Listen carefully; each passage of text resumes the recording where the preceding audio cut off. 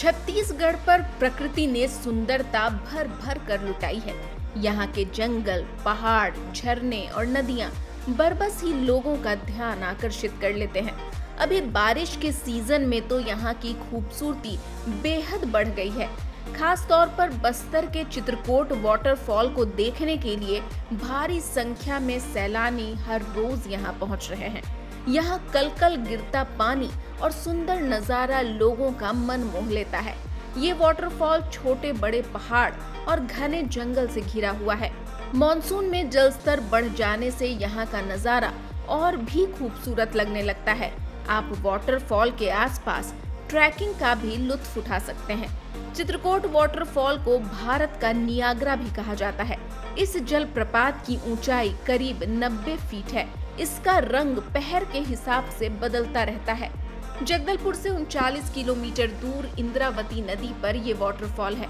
गोदावरी की सहायक नदी इंद्रावती पर चित्रकोट नाम की जगह पर ये वाटरफॉल भारत का विशालतम जलप्रपात है। बारिश के मौसम में इसका विस्तार बहुत ज़्यादा होता है। उस समय इसके पाट की चौड़ाई 150 मीटर तक पहुँच जाती है। इस जगह पर इंद्रावती नदी की जलधारा 90 फीट की ऊंचाई से तेज आवाज़ के साथ गिरती है।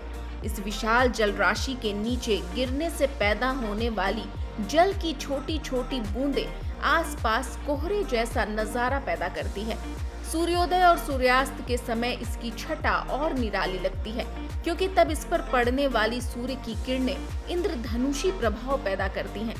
मॉनसून के मौसम में चित्रकोट फॉल्स देखने का अनुभव एकदम अलग ही होता है, जो प्रकृति की शक्ति और सुंदरता दोनों को दिखाता है।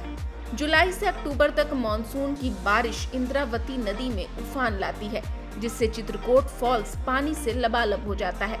ये झरना लगभग 300 मीटर, यानी 980 फीट की चौड़ाई में फैला है।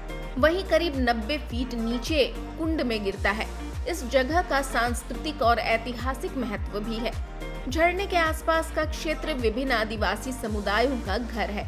चित्रकोट फॉल्स के आसपास का क्षेत्र भी प्राचीन मंदिरों और पुरातात्विक स्थानों से भरपूर है, जो इस क्षेत्र की समृद्ध इतिहास की झलक पेश करता है। चित्रकूट की यात्रा के लिए सबसे अच्छा समय अगस्त, सितंबर और अक्टूबर है। बारिश के बाद पूरा इलाका हरे भरे घने वनस्पतियों से भर उठता है। चित्रकूट फॉल्स सड़क मार्ग से अच्छी तरह से जुड़ा हुआ है, जिससे यहाँ छत्तीसगढ़ और पड़ोसी राज्यों के प्रमुख शहरों से पहुँचा जा सकता है। यहाँ से निकटतम शहर जगदलपुर है, जो बस्तर ज़िले का मुख्यालय है। यहाँ रुकने के लिए आपको बजट होटलों से लेकर मिड कैटेगरी के रिजॉर्ट्स तक मिल जाएँगे। Bureau Report and PG News.